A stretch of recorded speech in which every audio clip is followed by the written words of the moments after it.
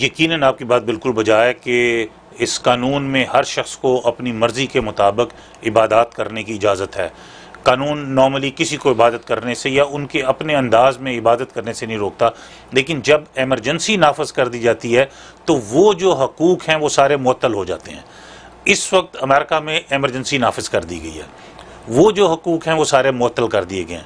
اب سوموار سے نیو یارک سٹیٹ میں کمپلیٹ ایمرجنسی اس کو کہتے ہیں کمپلیٹ شٹ ڈاؤن اس کا آرڈر آج انہوں نے گورنر نے دے دیا کہ سوائے ہاسپٹلز گروسری سٹورز اور فارمیسیز ان کے علاوہ ہر طرح کا بزنس ہر طرح کا آفس ہر طرح کی دکان، ہر طرح کا کاروبار کمپلیٹ شٹ ڈاؤن ہے.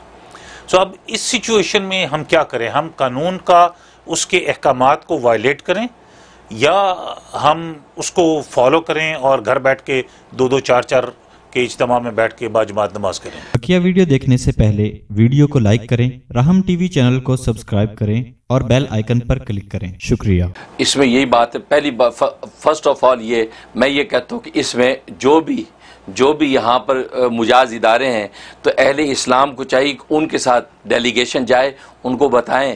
ہم پانچ وقت کی جو نماز ہے دیکھو حدیث میں آتا ہے کہ جس نے فجر کی نماز با جماعت ادا کی فو فی ذمت اللہ، وہ اللہ کی ذمہ داری میں آ گیا، اس کی حفاظت اللہ کی ذمہ ہو گئی ہے۔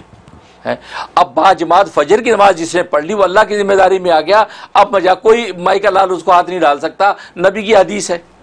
اسی طریقے سے با جماعت نمازوں میں فرشتوں کا نزول ہے، ملائکہ کا نزول ہے اور حفاظتی احکامات صبح شام آ رہے ہیں۔ اور حیا صلاح حیا فلاح کی جو صدایں ہیں، اس کے تحت با جماعت ہم نماز پڑھ رہے ہیں۔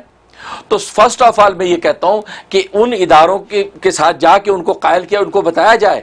اور یہ لوگ اتنے وہ وہ، کیا اسٹابن نہیں ہیں کہ وہ آپ کی بات کو سمجھیں گے نہیں۔ آپ، کیونکہ میں نے بتایا کہ پہلی مذہب کو اتنی آزادی یہاں پر لیکن آپ جو ہے اس آزادی سے فائدہ نہ اٹھائیں اور ان کو بتائیں نہیں۔ ہاں ایمرجنسی نافذ ہے، لیکن ایمرجنسی نافذ ہونے کا یہ مطلب نہیں کہ آپ جو وہ اس خدا کی طرف رجوع کرنے کا جو معاملہ ہے، اور یہ تو بنی اسرائیل سے بھی چلا آ رہا ہے۔ حضرت موسیٰ اسلام کے زمانے میں جو آفتی آتی تھی، وہ بھی رجوع اللہ کرتے تھے۔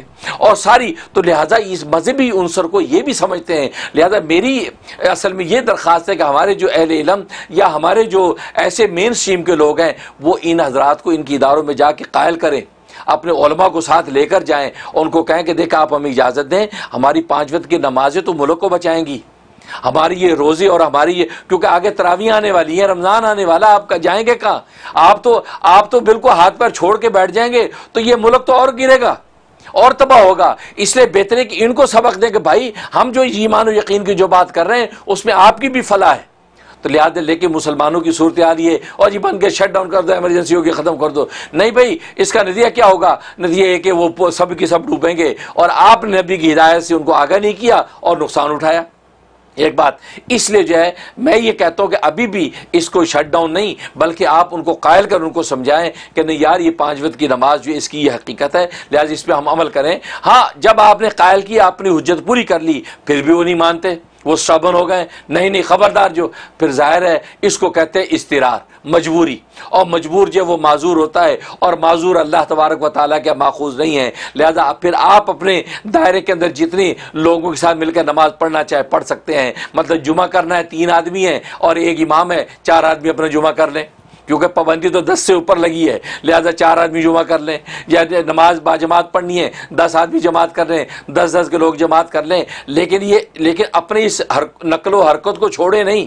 مسجدوں میں آنا جانا چھوڑے نہیں۔ اگر مسجدوں میں چھوڑ کے تالے لگا کے بیٹھ گئے، تو پھر آپ جو خطرناک راستے میں جا رہے ہیں کہ چھوٹا سا جھٹکا آیا اور اللہ کے گھروں کو آپ بھول گئے، تو پھر اللہ تبارک و تعالیٰ آپ کی ذمہ داری کیسے لے گا؟ بہت شکریہ مفتی صاحب۔